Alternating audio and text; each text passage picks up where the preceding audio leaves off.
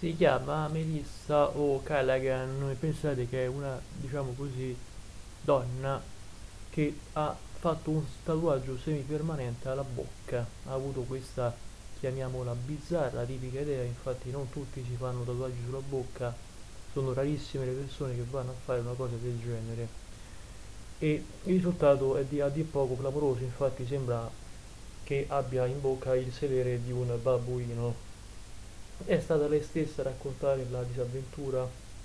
È una TikToker, ha molti iscritti nel suo profilo di TikTok e aveva un sogno, quello di ingrandire le labbra, renderle più grandi, più giganti, applicato da solo a un tatuaggio semipermanente, ma ha portato a un risultato che non si aspettava di avere. Di conseguenza adesso è una ragazza che protesta, una donna che non le manda a dire e soprattutto è triste per quello che è accaduto alla sua bellezza che è stata letteralmente intaccata, osato a dire.